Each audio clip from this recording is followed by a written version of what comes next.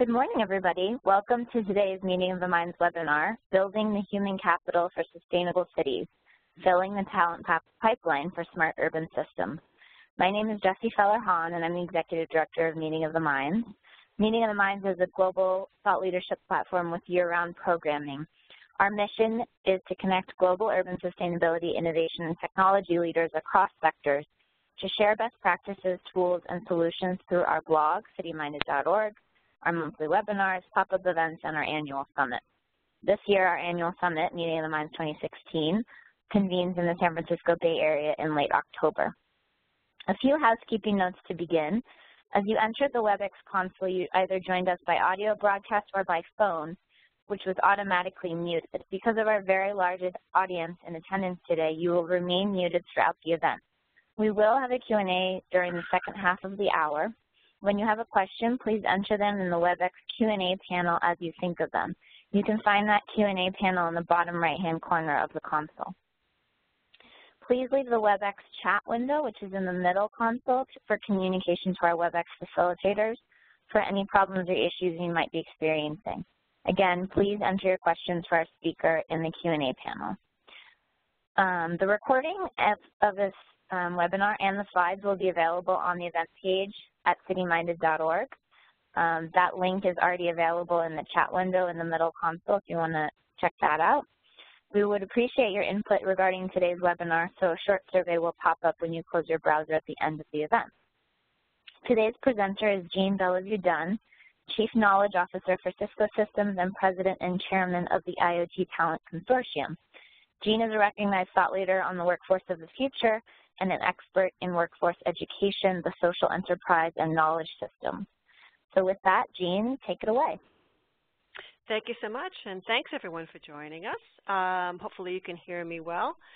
Um, I'm going to today talk about a couple of things. One first, um, what the characteristics are of smart cities are in sustainable cities and some of the major trends. And then I'm going to go into uh, the impact of talent and uh, the people within the cities and what we need to do to make sure that we are well set up to drive next generation solutions that will help um, our, our cities be uh, more sustainable, more innovative, drive better overall prosperity and better experiences for its citizens. So, you know, let's first start with um, understanding, you know, that cities um, are the heart and soul of not just um, our nation and economy, but those around the world.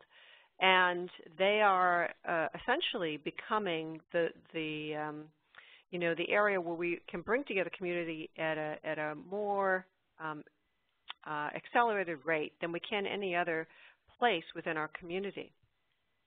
We, you know, we, as we look at how people think about um, cities, different than um, rural areas, um, you'll see that there's a tremendous amount of um, changes that are going on in the world that are really driving people towards urbanization and towards uh, moving to cities to live and work. And you know, let's start with a few key key stats here. Um, you know, we are seeing uh, major changes in social demographics across the globe. And, and if you think about, um, you know, what's happened over the last five years in terms of population growth and, and uh, some populations that, quite frankly, are aging, um, you, will see that this dra dramatically impacts, um, you know, both the nation and the local economies. And of course, uh, in the United States, uh, North America, um, what we see is that, you know, while we've experienced a, a good population growth over the last uh, several years due to um, Gen X and Gen, Gen, Y coming into um, coming into their um, employment uh, timeframes and, and um, you know them becoming adults and um, you know carrying things forward. Uh, one of the things, of course, that we understand is that um, you know sometimes the, these new populations make choices to marry later and uh, have children later or not have children at all. In fact, we're seeing a growing change across all developed countries for um, people having getting married later, getting married less, uh, and uh, in having less children. So. So we're going to all be um, faced with the same thing. All developed countries will be faced with the same thing. We're going to have to one, make sure that we can um, not only deal with urbanization within cities as, as populations start to go into the cities for work and, and even during retirement to get access to um, all the great city services that are available, but we're also going to need to figure out ways to bring in new populations of people from um, the more emerging areas um, as we continue to um, take in populations from outside of our countries and local areas.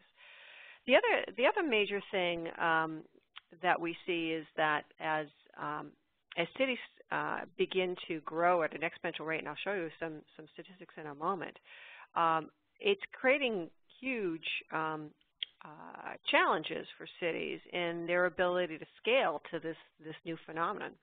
But the good news is that um, digitization and digital transformation is actually bringing us new ways of connecting people up, providing services, and enhancing the overall experience of being in cities um, at a rate never before. And we'll explain why that is in a few moments. Now, if you look at um, what's happening around the globe, um, and this is, you know, this is true of every major um, city everywhere, is we're seeing huge, huge urbanization, people moving to these cities at a rate of 10,000 people per hour. Essentially what that means is that we're, we're creating, um, you know, movement into these cities the size of London or New York every month. And now that's a that's a tremendous phenomenon if you if you think about it. And of course, there's there's brown cities and which are you know cities that have been around forever, like New York and San Francisco and London and Boston. And then there are the um, new cities, you know, whether they be Dubai, which is you know only 50-year-old city and you know essentially grew up in the digital age, grew up in the internet age. Um, you know, you're seeing you're seeing different challenges with each one of those. And uh, of course, as, as we think that most of the cities that are out there today aren't new, they're, they've been around for a long time, we have to figure out new ways to um, provide solutions to these cities so that they can in fact deal with the challenges ahead. And we'll, we'll share that with you in a moment. So, so what are the challenges? Well, cities see a lot of uh, interesting challenges as more people migrate to them. Of course, first with you know increasing crowds, uh, there comes increased crime. There comes um, challenges on the infrastructure itself. Uh, if you if you talk to people who um, have to go in and out of the city a lot, they'll tell you you know what drives them crazy. Of course, is the traffic congestion, the lack of good uh, public transit, good city services, the inability to find parking and be able to get from one place to the other in an efficient manner. And of course, um, you know, just being able to, um, if you're living in the city, just being able to um, get access to the kind of services you would expect to have, whether that be education, health care, or just general city services like transportation um, and uh, you know things that make the city safe, pleasant, clean. Um, you know those are the things that matter when you when you live in a city. And of course, the biggest reason why people migrate to cities is because of the jobs. Um, that's where all the new jobs are being created. Um, that's if you think about you know what's happening in San Francisco. San Francisco is seeing a huge explosion as a result of a lot of new job creation. And it's not just startups that are doing this, uh, you know, creating these new jobs. It's really actually the the companies that are past startup phase that are going into their next phase of um, high growth and development. So they've they've sort of you know turned the corner on um, first level of profitability and proving out the concept, and now they're growing like crazy. And this is this is what um, cities think about when they think about their 10, 20-year planning: is how do they attract the kind of companies and the kind of populations they want into the city, uh, so that they can in fact um, have the kind of um, revenue sources that allow them to deal with all of these other challenges that they need to set up infrastructure for. So, um, so let's talk about some of these um, some of these uh, challenges and, and specifically where they sit. Of course, um, you know we talked about some of this before, whether it be parking or traffic management. Uh, everyone has heard this before, I'm sure, but uh, you know if you if you think about um, how much time you spend, if you are coming into a city from um, from outside, and you are coming in to do business in a city, uh, the amount of time that you spend trying to find parking, trying to get through traffic, uh, you know, and, and making sure that wherever you are, you're safe, you know, there, there's a lot of time spent on those, those things. Uh, and uh, in fact, uh, in the city of Paris, I mean, it's estimated that people spend 40 years of their lives looking for parking in the city. So, so new types of services through digitization have been created to actually um, drive a new experience when people come into the cities. Because of course, you know, um, everyone, uh, everyone that is in um, city planning and city management knows and understands that the more they can make their cities robust, the more they can drive commerce through their cities, the more they can make their businesses successful that come to their cities and provide a vibrant environment for that and get rid of all of the reasons why people don't want to come to the city, then um, the more prosperous, um, you know, and the more um, services they can provide um, into the city, which makes it even better. So best-in-class cities really think about these things. And, and there are all kinds of new um, applications. I'll give you an example, um, both in San Francisco, Barcelona, um, Boston, and many other cities. You know, they have um, bridged together different parts of these previous siloed areas, such as traffic management and parking, and put together through um, the work with uh, corporations, technology corporations, uh, new applications that allow citizens to um, log into the city app, find out where you know where they're going, map out where they're going, find out the latest and greatest um, uh, or the best parking situation uh, for them. They can reserve their parking in advance so they don't have to spend hours driving around looking for parking. They can reserve that exact time and space for them so they know it's going to be available. Um, and they can get all the reports on traffic management and how, uh, what's the best way to get into the city, whether it's, you know, driving, whether it's, uh, you know, taking a specific uh, line, and once you're in the city, how to get from one place to another very efficiently. So these are the kind of things we start to, you know, bring together um, these different um, assets, not just within the city itself and city services, but with um, organizations, um, whether it be startups or, or um, technology organization that can help them actually provide these new kinds of solutions. Same thing with waste management, right? The way to keep a city clean and also to prevent traffic is to make sure that you know where you need to be to pick up the waste um, as, as the waste cans get filled. This is what Barcelona did that helped to clean up their city dramatically. Is they put sensors on all of their different uh, dumpsters and trash cans so they knew where to go and where not to go to make sure the city, city stayed clean.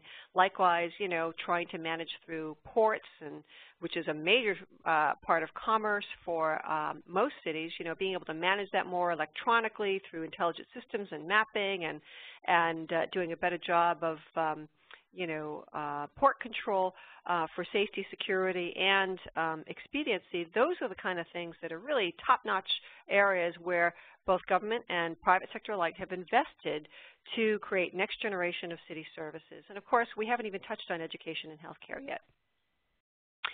So there are huge issues out there, huge global social economic problems to solve. The good news is we're in a better place through digital technology than ever before to be able to solve them because um, not only are we ready with technology, but the market is ready, the consumers are ready. In fact, they're demanding, they're demanding new kinds of services, um, you know, through their mobile apps, through, um, you know, quick access through their tablets to be able to get these kinds of services. And so they have more information at their fingertips to make better decisions as they participate in anything to do with their local community and services.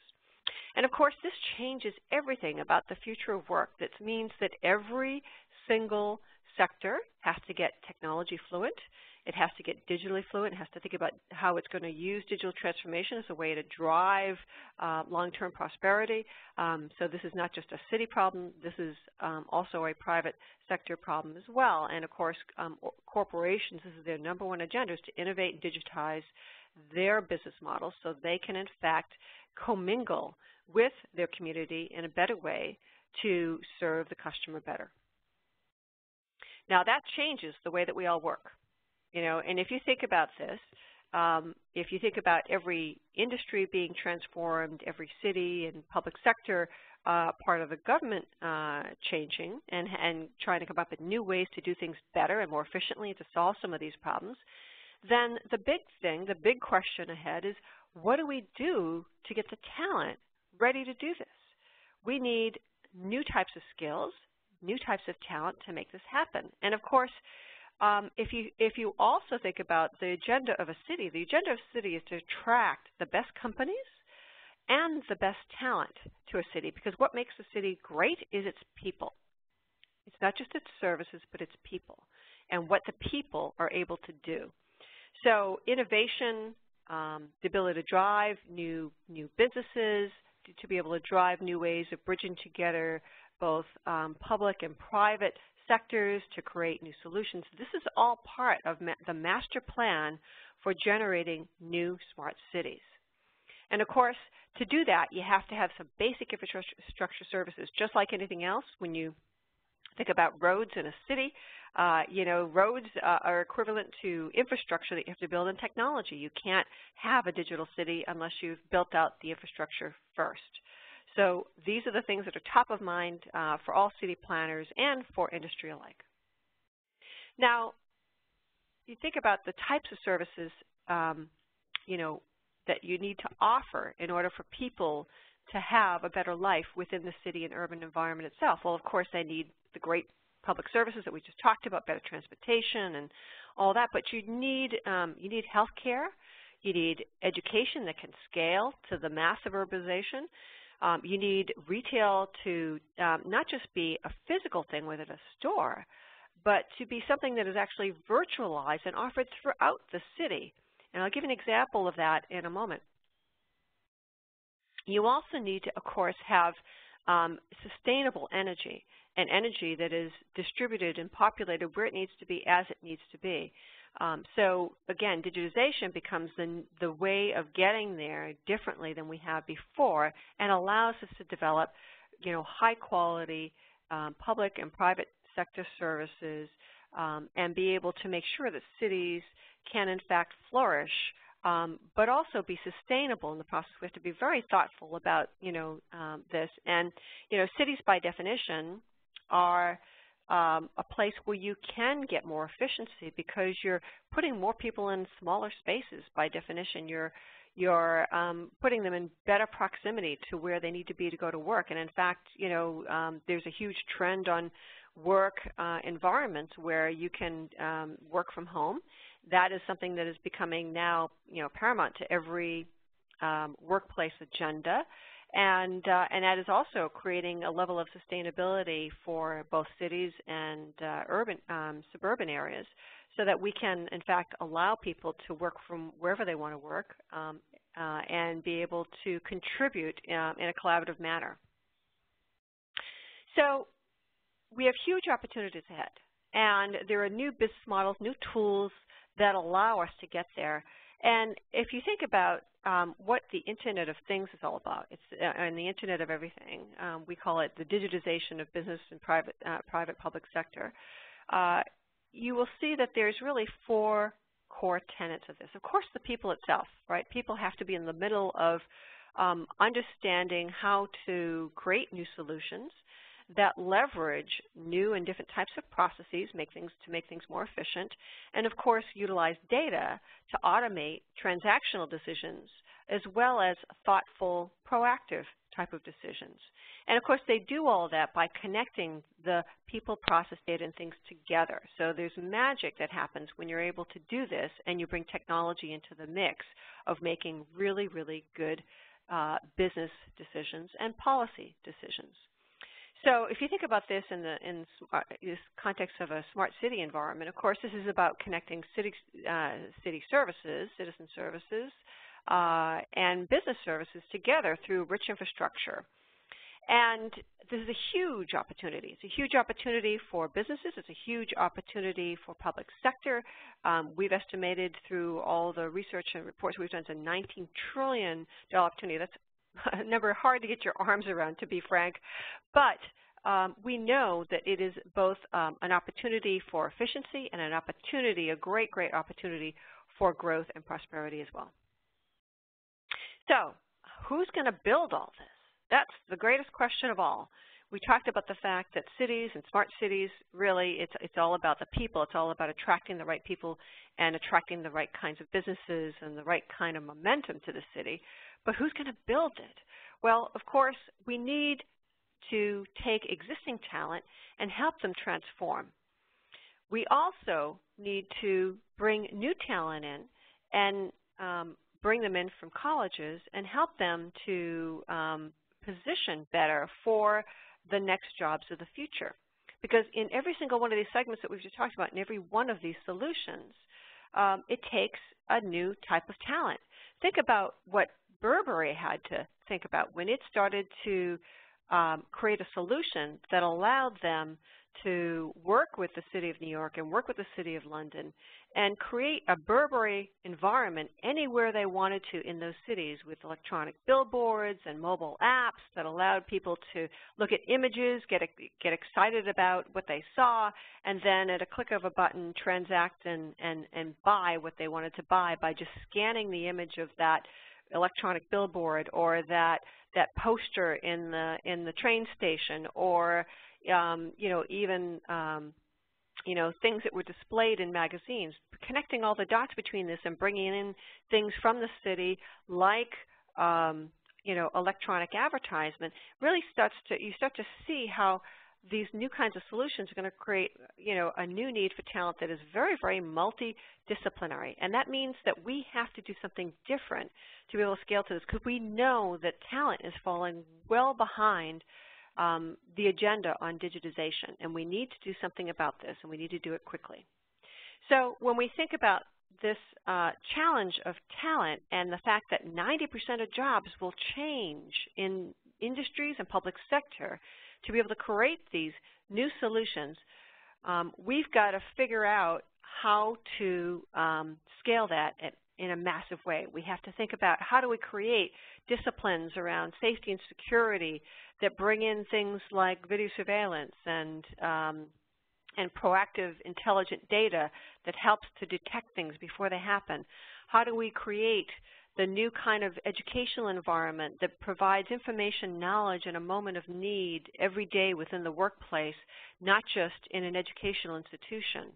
How do we create health services that are, um, it can reach everyone um, into their homes, not just, and, and as they're walking around the city every day, right? How do they provide information and data and, and get proactive health care services that, that meet their time of need and their moment of need?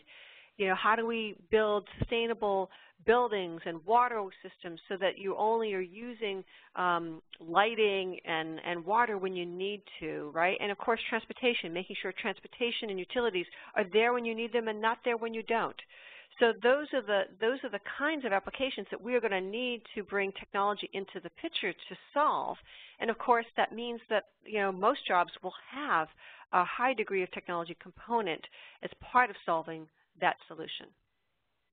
So there's a whole bunch of new job roles that are coming, um, uh, you know, out there as a result of this. And you know, to just to just to give you a feel for how fast this is moving, um, I have this is a slide that I, I did uh, about two years ago, and I must have changed the slide about 20 times uh, in terms of adding new job roles, new areas that are coming to be as we think about the jobs of the future and how technology is uh, becoming such a huge part of our lives and the way that we work every day. Um, if you think about marketeers, right, the new way to marketing is through being a professional triber by bringing communities together in new and different ways than they've ever done before, social media and so forth. People that are urban innovators, these are the entrepreneurs and the mechanics, urban mechanics of how do you um, transform a city, a brown city, an existing city? How do you create some new pilots and some new innovation solutions and bring them to market, right, and combine uh, the best of what both public and private sector can do together? Um, if to do any of that, of course, um, and to think about, you know, how to do things better, you need data scientists who are going to help with um, analyzing and looking at data in new and different ways and pulling data from all these things that are connected now, these billion, 50 billion things that will be connected in the future, um, and driving contextual information and insight from that so you can make new kinds of decisions which help you transform. And of course, you need developers, platform developers, that can pull all these applications together um, and put them into this more this context of an entire um, solution that breaks through new boundaries of, of uh, connecting things together that have never been connected before. Um, you'll need uh, you'll need to do all of this, of course, um, including you know, when you think about energy and smart energy and transportation systems, you'll want to make sure that everything you do is safe and secure. And so bringing in um, cybersecurity and security analysts into the picture are top of mind for everyone, both in public and private sector, because you don't want to engage in any of this unless you have built out a good uh, set of policies, procedures, um, and technologies that will assist you in making sure that you can keep everyone safe and make people even safer through the digitization of all these different applications working together. You know, we'll see new types of things popping up in virtual reality in the future. Education will be done differently that way. Um, you'll see uh, machine learning be, become a core part of how we learn and work and interact every day and, and how we get information served up to us so we can serve our customers, our partners, and uh, the public better. So, um, you know, just a tremendous amount of change and new types of jobs that are coming about is as a result of this change, and that's going to require a different approach to education, a different way of thinking about our talent, um, both in cities and within companies and within the uh, public sector itself. And of course, um, we can't forget that not only are these specialized skills going to be very important, but new types of skills in collaboration, communication, uh, entrepreneurship, the ability to think through problems that have never been done before. Think about the, the global or local implications of decisions that you make, uh, making sure that you understand the aspects of diversity of the workplace um, and be able to respond to that properly. Uh, being able to plan thoughtfully through all of this digital disruption and be able to make calculated risks um, relying on all the right resources that are available to you in your communities and being able to bridge those communities together in new and different ways. And of course, the ITC uh, proficiency that we just talked about. Um, so there's huge, huge new skills that need to be built, and, and, it's not just the job of educational systems to do this. It is the job, quite frankly, of every organization across the globe. So in building this new um, knowledge economy, we've thought about this quite a bit um, with the IoT Talent Consortium. Uh, we thought about how, how is the workforce of the future shaping up? How do we bring um, education to people who are both in schools and outside of schools and are looking to figure out what are the jobs of the future? How do I prepare for that? What's the roadmap to get there?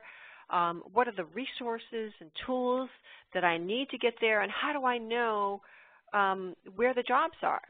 So we decided to um, bring together uh, a coalition of uh, people to, that, that really thinks about talent as the center of these cities and the center of um, how we think about digital disruption of the future.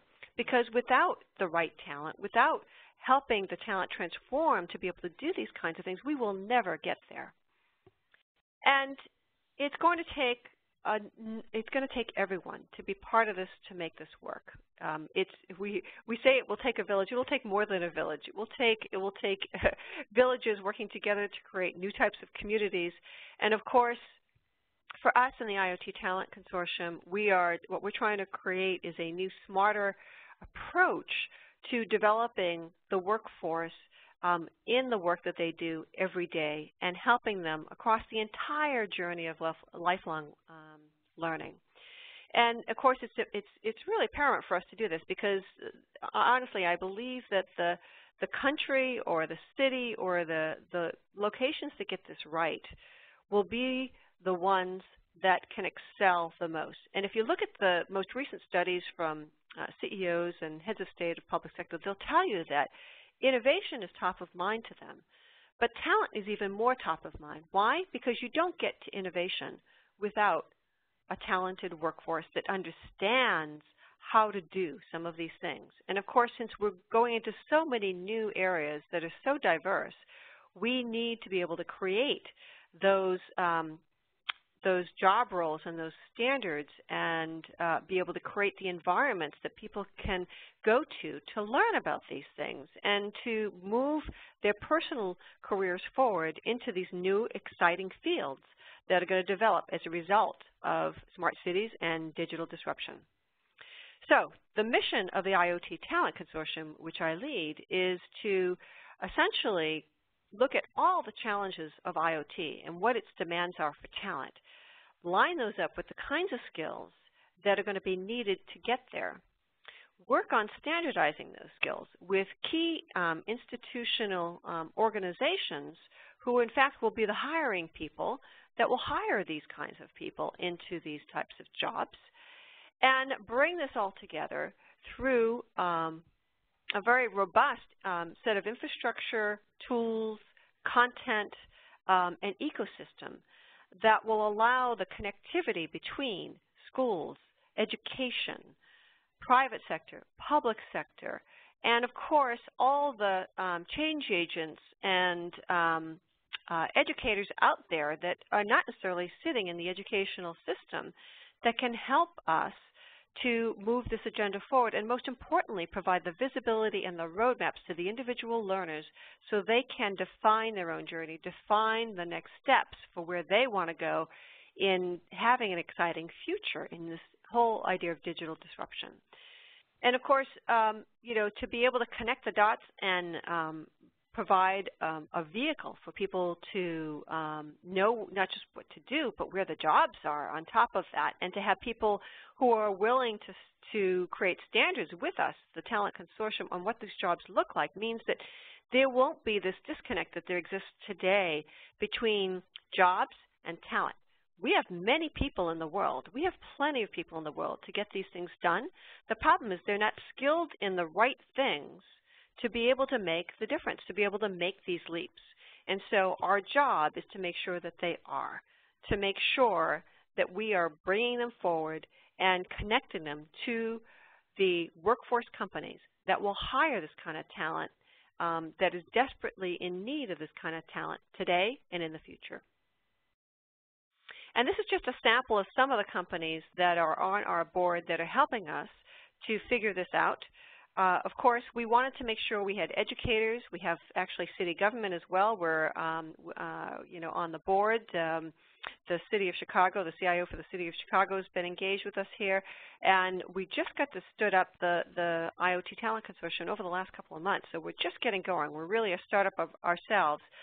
But I will tell you that um, having done this before, you know, having looked at an industry like the Internet before uh, in my role here in driving knowledge and learning for the networking industry, we had the same challenge. You know, when we started the Internet generation 20, more than 25 years ago, we uh, started with this base concept that if we were going to build out the Internet, we needed to have talent for the Internet. And so we started a very pragmatic but very exhaustive and high scalable approach to developing that. We, we developed over 3 million people um, in the Internet community that are now here to serve all kinds of different needs of our customers, our partners, public sector alike across the globe. And that can only be done through a long-term plan, a set of aligned resources, and an agenda that drives for aggressive goals to change the paradigm of learning and connect the dots where they need to be connected to make it happen. And of course, as you can expect, all of this will be done digitally over, over digital platforms so that we can reach everybody everywhere from where they are um, and not leave anyone behind.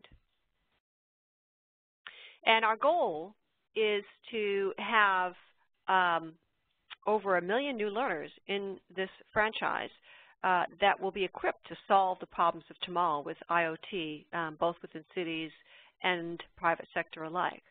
And, uh, you know, it's a long-term goal, of course, but we believe we can do this. We've done this before. We believe we can do this with um, all of your help. And we are actively looking for participation in the IoT uh, Talent Consortium, both at a learner level, of course, but uh, also to create the standards that we need to get there. And, um, you know, one of the things when we first started out with the IoT Talent Consortium, the thing we realized is the first thing we had to do was get the major employers engaged to set the standards. Because if we could have employers say, this is what I want to, this is my business problem, this is what I'm trying to solve for, these are the kind of people I want to hire, and these are the standards for which we hire too.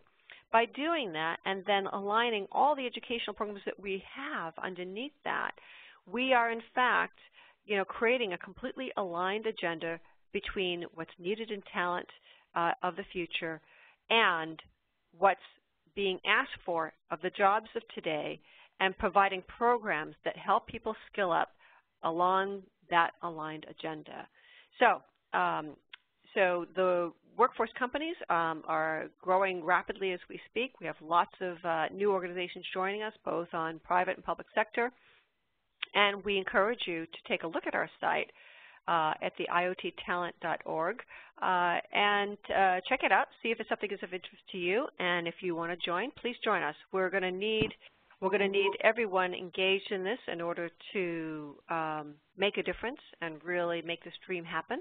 Um, but I'm confident with the players that we have engaged today as well as the people that we plan on um, having participate tomorrow that we will make this um, scale. We will make this uh, a solution for talent that goes beyond um, you know any single what any single company or organization can do by bridging the gaps between um, all of these different ecosystems and communities and and standardizing on the approach for how we align the talent to the right skills at the right place at the right time. Thank you very much. Thank you so much, Jeanne. Fantastic stuff. Um, so we're going to go into a Q&A with Jeanne um, right now with all of you on our webinar. So you can enter your questions in the bottom right console, the Q&A console, and type those in, and I will be um, moderating Q&A with, with Jeanne right now. Also, I wanted to just mention one more time that the slides and the recording of this webinar um, will be available on our website. It's now available on our homepage, on the first, first image on our homepage. Um, and the slides are already up there, so we will be adding the recording um, tomorrow.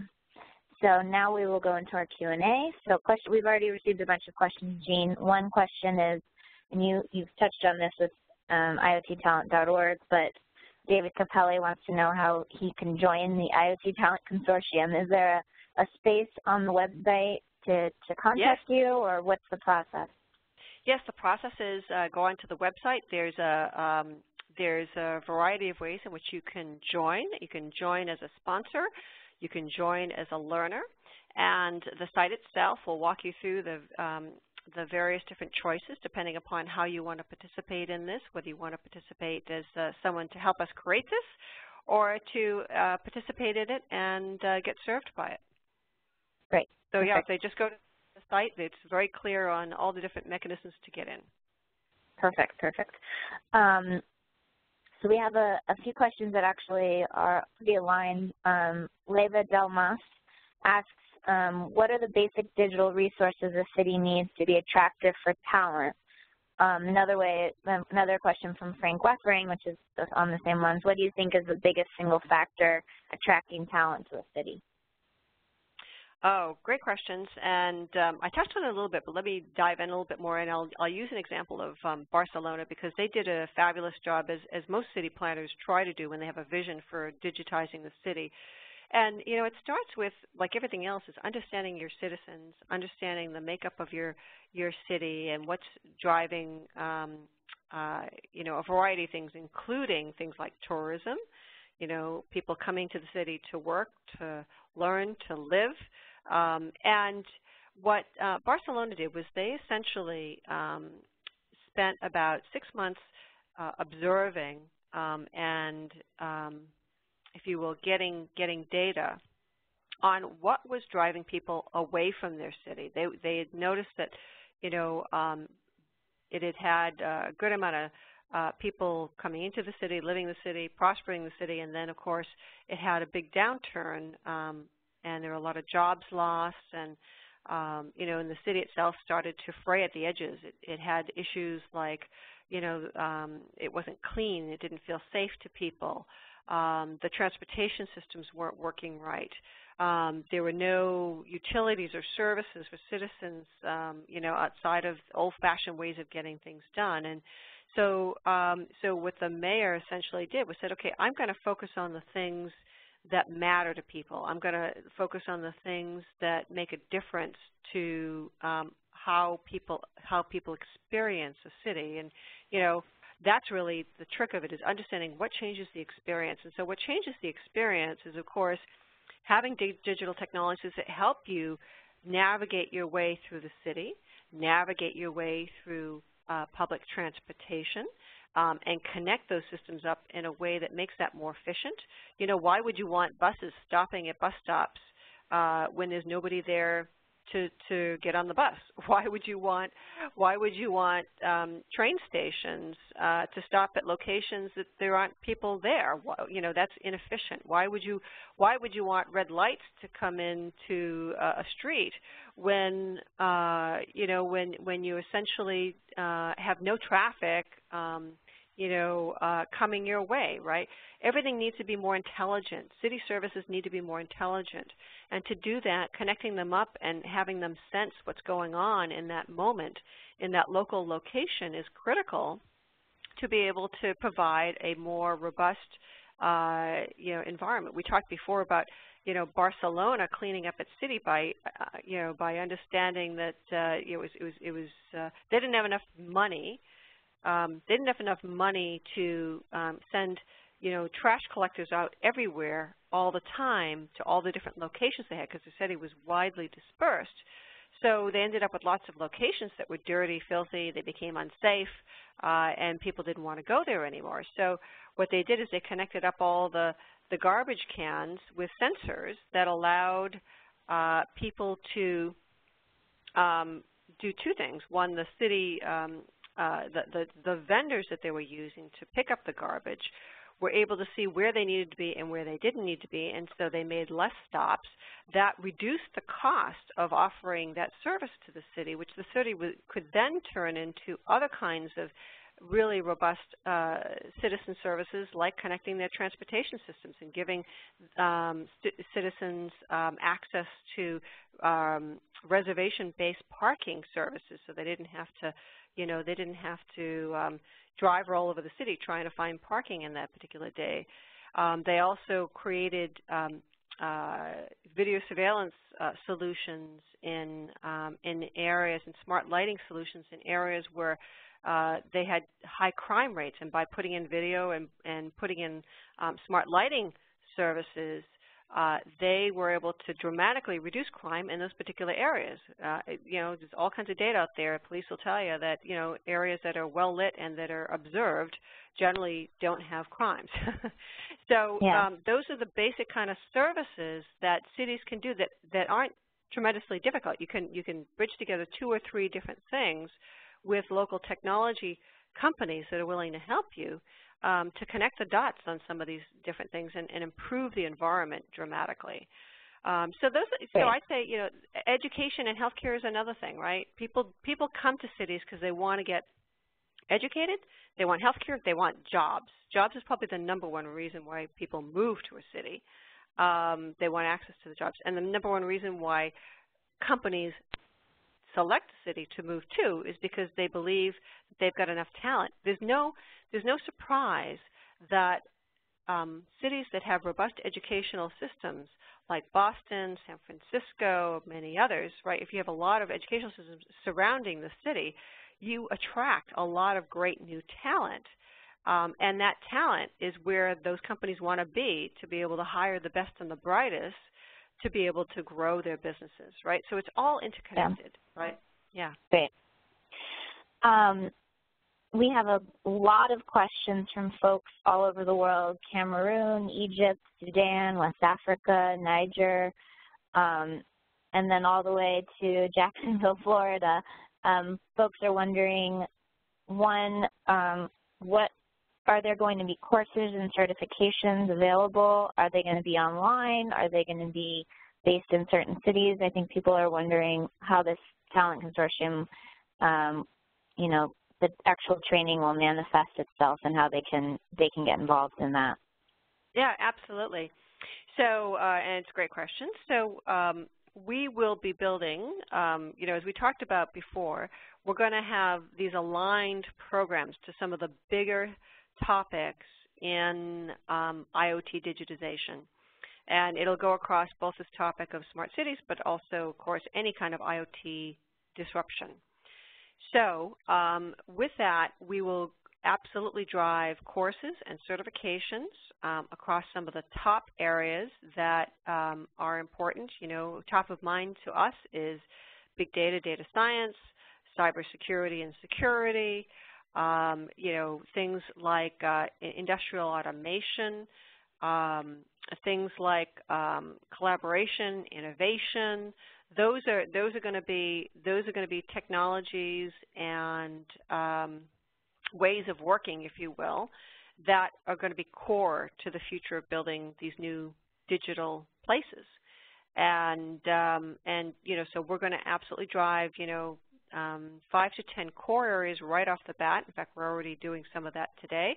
It'll be offered all online through a digital platform, um, uh, Collaborative Knowledge. We're going to essentially not just provide you a platform to um, engage in the learning, but we're also going to provide you a way to um, connect and communicate with each other because the reality is, is the solutions of the future will not be created by one individual with one set of expertise. It's going to require an entire bench of different types of expertise to make these things happen.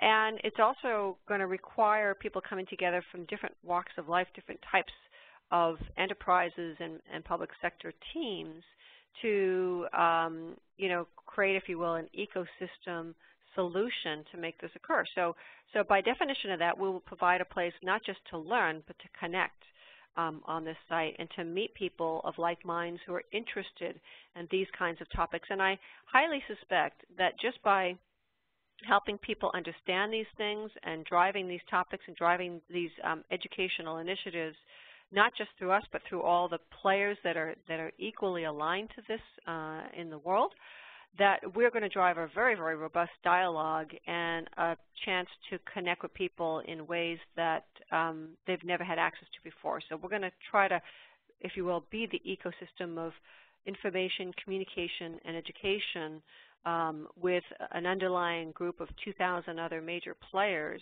that will serve up um, great resources to do all of the above. Great. Um, so one question, and I think this um, ties into a lot of a lot of the questions coming in of places in, around the world who are not the San Franciscos and New Yorks and Londons, but for instance, um, one question about Miami. Miami doesn't have any major tech or manufacturing companies anchoring the job market for instance, this guy's um, bunch of his talents and friends have moved elsewhere for high-paying jobs. Can you discuss how a city can attract companies like Google and Cisco, et cetera? yeah, well, um, you know, it goes back to the early question before, which is um, large tech companies will go to places that um, have educational systems that have people pouring out of them uh, that are technology savvy. So, so to do that, you have to have an infrastructure of education that is, in fact, feeding this. This is why, you know, places like, you know, Boston and California are top of mind to most um, technology companies, and New York's, you know, New, York, New York's beginning to uh, also get that kind of um, vibe about it. Um, and I believe that Miami is starting to understand that because uh, I've seen recent evidence and, and uh, certainly recent discussion around this that you know Miami is trying to create uh, tech hubs uh, at, at, an aggressive pace. And if you think about it, Miami has got a lot going for it. I know Miami quite well, and and it is uh, you know a digital city by definition. You, if you if you um, anyone that's been there knows that you know most of the city uh, has had new development over the last uh, you know, five to 10 years, and it's really come alive. So I think that, um, you know, the good news is that in terms of city planning, they've done a very good job of making sure that buildings are high-tech and that it's an environment where young people want to go and move to. Um, the, the, the thing will be to align some of its educational programs locally so that people have the skills um, to be able to go into the workforce, and that will, in fact, attract new kinds of companies uh, to come there. You know, I, I don't know if you'll you'll get Google to move to Miami, but you will certainly attract new entrepreneurial companies that are bringing together these types of solutions. And um, you know, the, the key is for them is they're always just looking for, how, can I find local talent? Can I find local talent? And if I can find local talent, then I'm willing to, and if I, if I can get obviously good uh, policy making on and tax credits and things like that, um, and if there's incubation areas, places for me to grow my business and to develop my business with resources available to me from other areas, those are all very, very attractive things for the next uh, you know, new company, the next digital company to come in. And I, I do see Miami actually on a positive curve with this, so I, I, I do have lots of uh, hope for them. Great. Thanks for that. Um, there's some logistical questions about getting involved with IoT Talent Consortium coming in. Um, one is, are the membership packages on the website um, for individuals to be involved in active members, or is that geared towards companies? I think people are wondering how they get both their own companies involved and taking it to their workplaces to get them involved, but also individually how they can become involved. Yes, yeah, so um, so we have two ways to get involved. One is uh, as a, a, corporate sponsorship, and um, uh, I think it's pretty clear on the website how that's mapped out and everything. So you can join as a corporation. As an individual, um, there's uh, really the best way to join is as a learner or as a community member. Um, and you can engage in conversation, you can contribute content, uh, you can you know, send us messages or give us um, ideas and direction uh, through the community um, site that we'll be putting up. And uh, you know, as we're just in early, early stages of this, we are you know, focused on uh, trying to make progress with the biggest uh, companies in IT right out the gate, but of course we want entrepreneurs and we want um, people to engage and to, you know, start to, to help us get the word out about this because the more organizations that join, the more robust services we'll be able to provide and, uh, and the more ideas that will come our way on, you know, what's next? What's the next solution we need to solve for and, and what do we need in terms of talent to get there? Great. Um, and then question came in, how will your Learning at Cisco initiatives be tied to the IoT Talent Consortium? Yes, yeah, so um, Learning at Cisco, of course, is the organization that I um, that uh, is inside of Cisco. It's our educational arm for Cisco for certifications and and workforce education. And uh, of course, uh, we are a, a, major sponsor of the IoT uh, Talent Consortium, as is GE and Rockwell and many other companies. Um, so um, we will be, just like everybody else, aligning to what we all agree to on what these talent standards look like and then providing certifications uh, towards that end. Um, so we'll see, you'll see Cisco certification, Cisco education, and our partners that provide education all aligned towards this. Great. There's some questions coming from out of um, West Africa and Nigeria participants and they're wondering if there's going to be scholarships or reduced fees available for um, people coming from the Global South.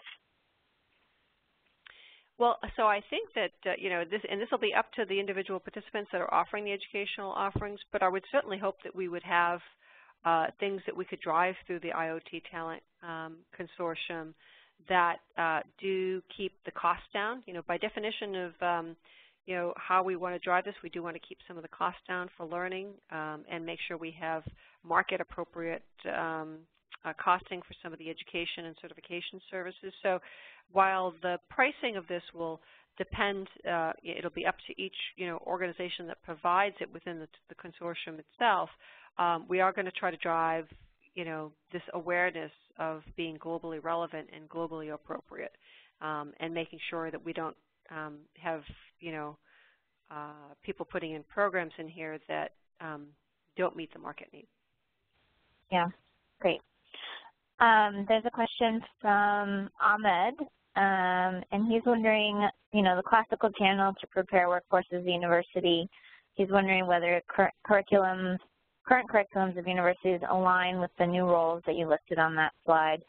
Um, how are you guys work, planning on working with universities to ch change and adjust curriculum? Yes, and that's a major part of our agenda. Um, you know, one of the things we talk about is part of the connection of the ecosystem is connect, connecting educators to this new standard. We part of the reason why we put this talent consortium together is because we, we knew through you know, designing the internet industry and the internet talent for the in internet industry that it wasn't something that educators could do on their own. They needed help. They needed um, they needed to know what the blueprints were and the standards were to to be able to educate this, and they have their own pace and time. Right? Educators can't move as quickly as private sector because they have certain standards that they're they're required to live by themselves and certain processes and ways of getting uh, curricula signed off and approved within the universities and within the state and local government systems. So knowing that, um, you know, we said, well, we're going to create the standards, we're going to create the educational content, and we're going to invite educators to participate and, and go as fast as they can, as, as fast as what will be allowed uh, by their own system. But we're not going to obviously require people to get it through the educational systems because that would stall, you know, all of these efforts. So so we're going to be an over-the-top as well as an integrated solution within the education systems. Great. Um, so there's some questions about certification. Um, you know, some of the folks on the webinar have taken the data center training certification, the CCNA certification. Um, so I think there's a lot of, of of curiosity on the webinar, among the webinar attendees around what kind of other certifications are going to be coming down the pipeline. I know you had the slide with all these new roles um, coming out, and um, maybe you want to touch on that a little more, Jeanne. Yeah, let me go back. Hold on. Take me a moment here, and we'll talk about some of these. So some of the ones that have already been announced, there's, there's one called the Industrial Network Engineer. This is, um, this is a, a new job role and essentially it's it's where the bridge in the manufacturing environment is between um, IT and operations technology, so IT and OT. And this is a new certification we launched over the last um, six, six to nine months. This will be a core part. In fact, this is the first certification that was actually co-created, uh, excuse me, by the IoT um, Talent Consortium. So this is something that we and Rockwell created together. And uh, this is something that we created as a standard for the industry at large for um, factory floor automation. So that's one example of a new thing that has been created. Of course, uh, cloud and cloud architect um, is another one. SDN and network programmability, because if you're if you're a networking person and you're in this space, then programmability is going to be the future of the world for you and um, you know, learning how to um, uh, work in this new environment where where the network is now the the great API in the sky, uh, and being mm -hmm. able to use that as a way to bridge together all these different ecosystems and provide different classes of service over that. Those are going to be key things. Um, business uh, transformation practitioner this is another area that we've developed, and um, you know, this is a way to for people to for IT people to think about themselves as consultants um, and in um, you know new ways to drive um, new types of solutions of this type that we've been talking about through the seminar.